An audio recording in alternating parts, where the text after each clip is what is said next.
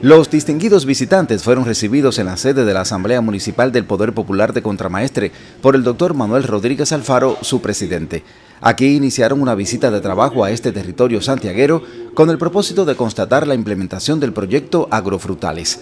Luego recorrieron sitios productivos vinculados a esta iniciativa que tiene como propósito el fortalecimiento a nivel local de la gestión y el desempeño de cadenas agroalimentarias de las frutas mango, guayaba y fruta bomba. En la cooperativa de producción agropecuaria Saturnino Lora Torres, el señor François Picard, jefe de cooperación de la Embajada de Canadá en Cuba, y el señor Fernando Hiraldo, representante del Programa de las Naciones Unidas para el Desarrollo PNUD en nuestro país, se interesaron por el uso óptimo de los equipos y recursos que como parte del programa están a disposición de los productores. Allí conocieron las experiencias de mujeres integrantes de la red Las Bibijoas, productoras de guayaba con importantes aportes al desarrollo local y con gran importancia en los esfuerzos para alcanzar la soberanía alimentaria nacional. Ellas explicaron el aporte que el proyecto Agrofrutales ha significado para su adelanto personal y el empoderamiento femenino.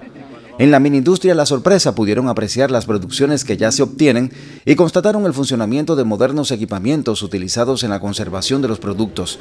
También dialogaron con mujeres que laboran en el Centro de Reproducción de Entomófagos y Entomopatógenos, productos dirigidos a eliminar plagas y enfermedades en los cultivos.